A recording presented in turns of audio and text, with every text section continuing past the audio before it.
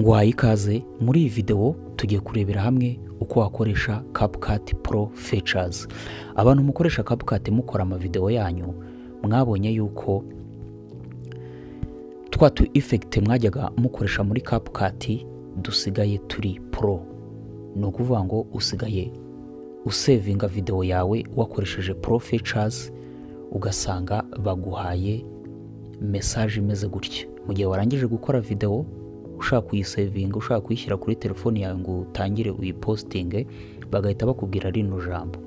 Bakakubwira ngo uri gukoresha Pro Features injira muri CapCut Pro kugira ngo ubashe gufungura ama features yose ajyanye na Pro. Iyo ukanze hano rero kuri join CapCut Pro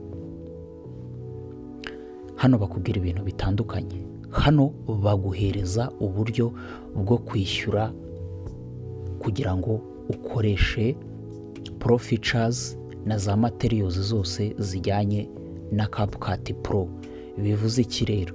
Wowe bajyaga bahereza iriya mesaje umaze kweditinga videwo yawe baba bari kukubwira ngo ugure utange amafaranga wishyure CapCut Pro kugira ngo ukomeze ukoreshe ariya ma features wakoresheje.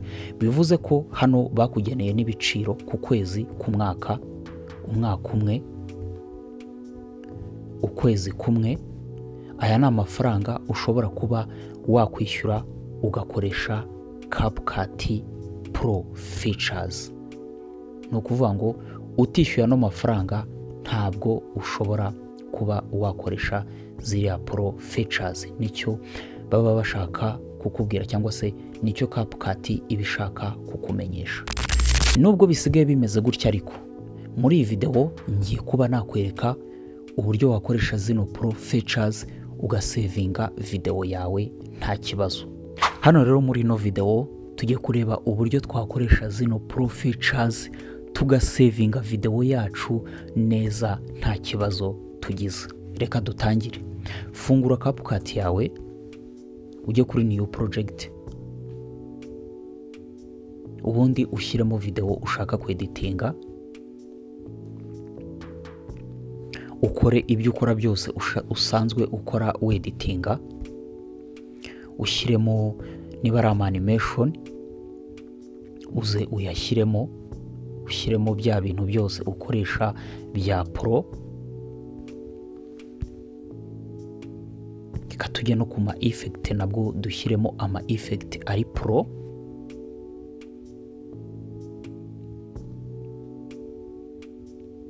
Uzaza rwose ukore videwo yawe n'ubundi nk'uko usanzwe uyikora.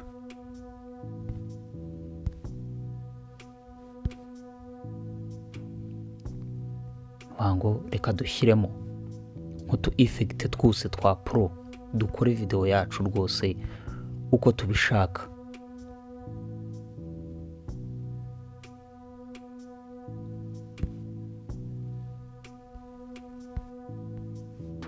Wenda urugero reka tuvuge ko neditinze videwo yanjye gutya mwabonye ko nashyizemo ama pro features ni ukuvuga ngo utuntu twose turi pro nadukoresheje muri videwo yanjye. Nibigenda gutya rero urangije gukora videwo yawe mu gihe ugeze cyo kuyisevinga uzakora iki?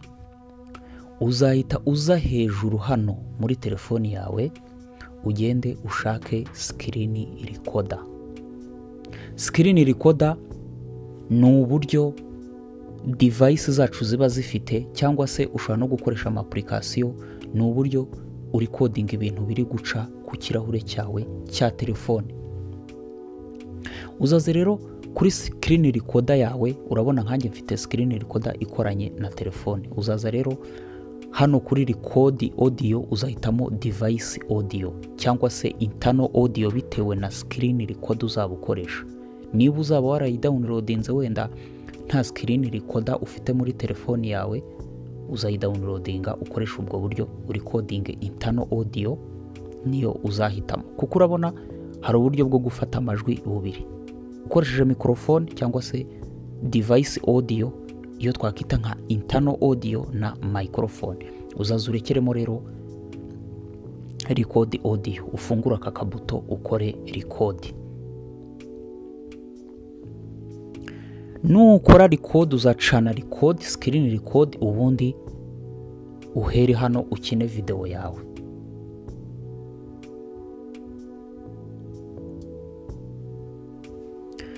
Numara gukina video yawe uzaza hano hejuru n'ubundi uhagarike screen record yawe. Nk'uko twabibonye uzaza uyihagarike. Numara kuyihagarika rero uzabigenza ute? Uzafunga CapCut yawe wongere ujye kuri new project. Ujye kuri new project ubundi ushyiremo video yawe. Ngo ya screen recorded wafashe. Ya screen recorded video wafashe uzayinjiza muri CapCut. Umaze kwinjiza muri CapCut bizagenda gute? Uzakora kuri video yawe. Uzayikoraho? Urabona ko twayikozeho yabaye selected? Uzahita uza hano hirya ushaka ahantu handitse transform. Ujye kuri transform. Ujye kuri resize. Ukore kuri resize. Numara gukora kuri resize uzakora iki? Uzakora resize ya video yawe?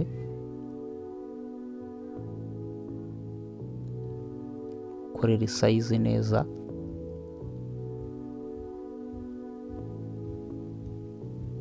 Witonze? Ubundi wemeze ko aka gafuresha hano hejuru.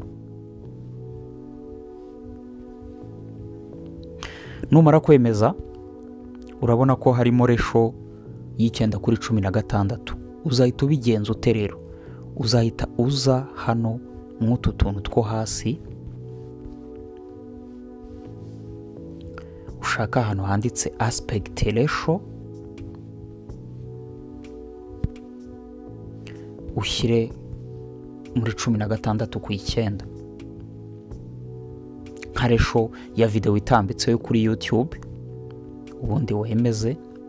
Numara kwemeza rero urabona ko videwo yawe uyifite hano uzaba uyifite hano. Ni uko nafashe screen recorded nashyizemo yindi ariko ni bwo buryo uzakoresha. Ni ukuvuga ngo umaze kuba wakora resize uzahita ushyira hano muri resho ya cumi na gatandatu ku icyenda. Umaze gushyiramo resho ya cumi na gatandatu ku icyenda urabona ko videwo yacu yasubiye mu buryo twari dufite. Umaze kwinjizamo videwo yawe rero uzabigenza ute? Uzahita ukora kuri videwo yawe uza ahantu handitse adjust. Numara kuza ahantu handitse adjust uzaza ujya kuri sharpen wongere sharpness ya videwo yawe. Ushobora no kuza ariko ugakora n'utundi dusetingi dutandukanye ubishaka nabwo ushobora ugashyiramo amafilita n'ibindi ubundi wemeza. Ibyo ngibyo rero nibirangira uzahita noneho ukora hano kuri export. Ukora kuri, export uzategereza ko videwo yawe iba exported uyisange kuri telefoni yawe uyipostinge ahantu ushaka. Ubu ni uburyo rero naberekaga mwakoresha pro features za CapCut mu buryo bworoshye cyangwa se mu buryo udatanze amafaranga kuko urabona ari amafaranga ni menshi.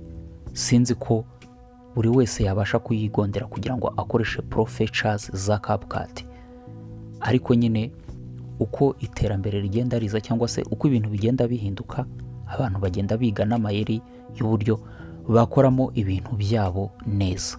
Ubu ni uburyo rero naberekaga ushobora gukoresha pro za CapCut mu buryo bworoshye. Ndakeka yuko rero ino videwo yagushimishije wowe ukunda kwikoreshereza CapCut. Niba rero ino videwo yagushimishije kora subscribe like share and comment kugira ngo tuzajye tubana muri videwo nkunda kugutegurira. Mwakoze cyane rero tubonane muri videwo itaha.